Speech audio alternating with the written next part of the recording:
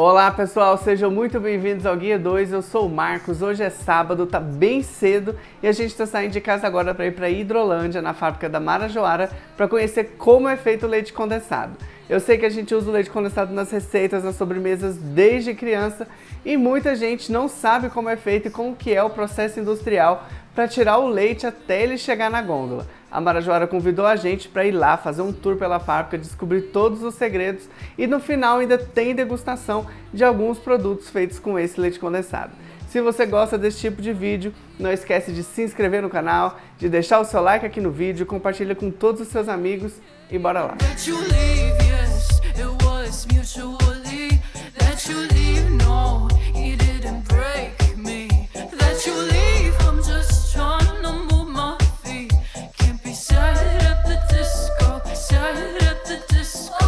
E nós já entramos aqui na fábrica antes de fazer um tour, mostrar para vocês todo o processo da produção do leite condensado. Eles fizeram uma degustação aqui, um café da manhã, na verdade, para contar para a gente um pouco da história, explicar mais ou menos como que as coisas funcionam antes da gente entrar na fábrica e eu vou te contar todos os detalhes aqui nesse vídeo.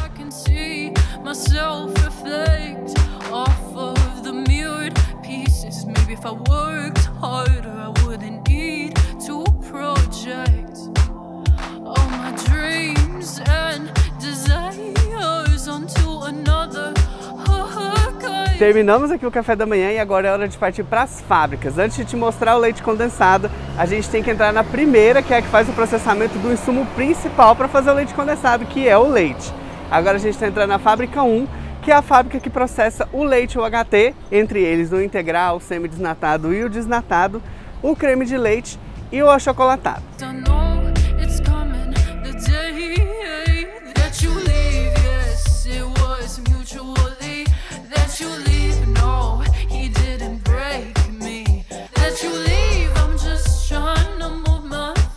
E como a gente está falando de fábrica, tem muito ruído, ficou impossível filmar lá dentro para vocês conseguirem captar o meu áudio explicando tudo. A gente está fazendo um tour aqui com o Júnior, que é o responsável aqui da fábrica, ele está mostrando tudo para a gente.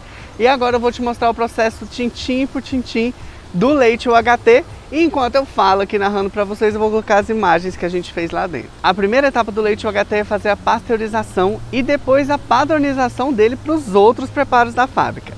É aqui nessa parte de padronização que eles vão colocar a quantidade de gordura que é necessária para fazer o leite condensado, o leite integral tem uma porcentagem certa de gordura, o leite desnatado também. E também pode retirar a lactose natural do leite para fazer a versão dele zero lactose. Depois disso ele vai passar por um processo de esterilização, a pasteurização mata um pouco das bactérias, mas a esterilização acaba com elas, o que faz o leite ser o leite longa vida que a gente conhece.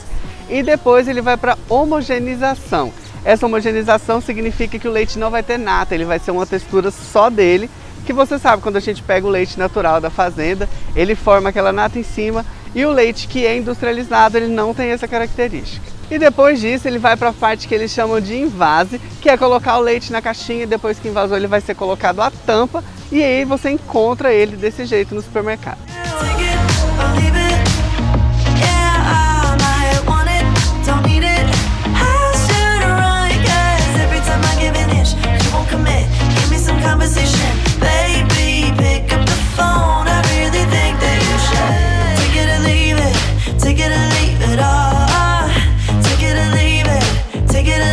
Uma coisa legal que eles contaram pra gente é que tem um laboratório que ele fica independente aqui do pátio de produção e a cada 20 minutos eles pegam duas caixinhas de leite para verificar a qualidade e eles também têm controle total, desde a produção e quando vai o lote até a distribuição no supermercado. Uma outra coisa que eles fazem aqui para também garantir a qualidade do leite é deixar algumas unidades dele a 40 graus por 7 dias para ver se vai proliferar alguma bactéria isso também garante a qualidade, já que o leite foi esterilizado e eles precisam verificar isso depois do processamento. Saindo aqui da fábrica do leite, a gente chegou na do achocolatado, que fica aqui bem pertinho e o processo é bem parecido. A primeira coisa que eles fazem é colocar todos os ingredientes que fazem parte da fórmula do produto nesses tanques e daqui eles também vão para a esterilização. Essa esterilização é feita a 140 graus por 4 segundos para garantir que não tem nenhum microorganismo na mistura. E depois da fase de esterilização ele vai para o invase. Aqui a máquina faz 24 mil unidades de produto por hora e aqui é aquela caixinha que todo mundo na infância conhece. Ele passa aqui por essa caixinha depois ele vai ter o canudo colado e depois a máquina sozinha faz a embalagem de papelão também e ela fica pronta para distribuição para o supermercado.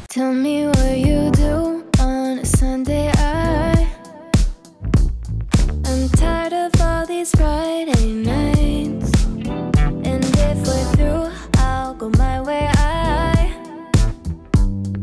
e agora sim, a gente está indo lá para a fábrica que faz o processamento do leite condensado. Ela fica aqui separada das primeiras fábricas que a gente passou do leite e do achocolatado. E a gente está chegando lá para mostrar como que funciona para vocês.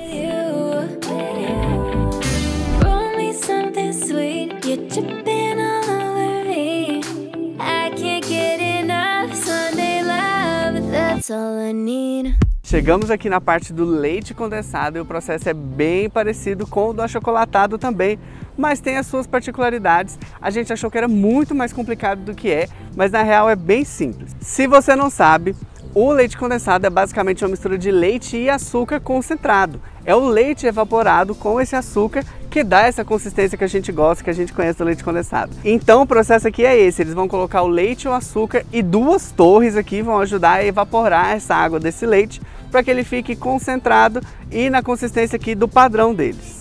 E como funciona o processo? Vai o leite e o açúcar aqui para esses tanques, são vários tanques que vão fazer essa mistura e depois eles vão para evaporação. Depois que eles vão a 100 graus e concentra todo esse leite condensado, eles voltam aqui para a cristalização, que ele precisa descansar por pelo menos uma hora para gerar consistência e só depois ele vai para o invase. Saiu do tanque de cristalização, ele vai para o invase e aqui fazem 12 mil unidades por hora, só que a fábrica é duplicada, aqui tem duas máquinas de invase que faz muito leite condensado por hora. E também eles usam um robô bem parecido com o que a gente viu lá no leite e também no achocolatado. Uma coisa importante é que aqui também tem a testagem por laboratório, de 30 em 30 minutos tem o teste de laboratório para garantir a qualidade do produto. E é isso. Uma outra coisa importante que eles disseram pra gente é que vai lactose sintetizada na composição do leite condensado. Se você não sabe, a lactose é uma proteína do leite, por isso que lá no início eu te disse que os ingredientes básicos do leite condensado são leite e açúcar. Essa lactose ajuda a evitar que o leite condensado cristalize, que fica açucarado, sabe? E fica aquela crosta de açúcar embaixo da embalagem.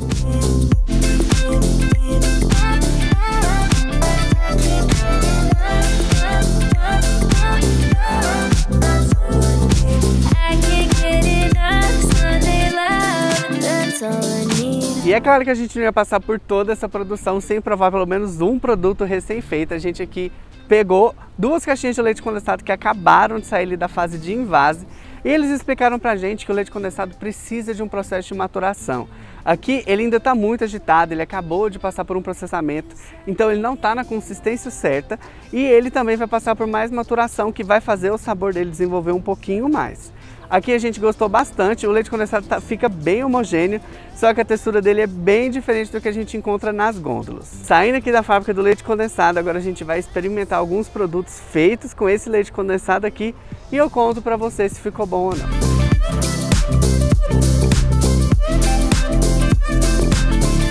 A gente já terminou de provar alguns doces da Rayana por aqui, ela é da Rai Gourmet e na verdade ela faz algumas receitas para o canal da Marajoara também. Então corre lá para você conferir e ver algumas dicas para conseguir usar os produtos aí no seu dia a dia. A gente achou os doces muito equilibrados, muito bons mesmo, tanto na quantidade de açúcar e também nas texturas.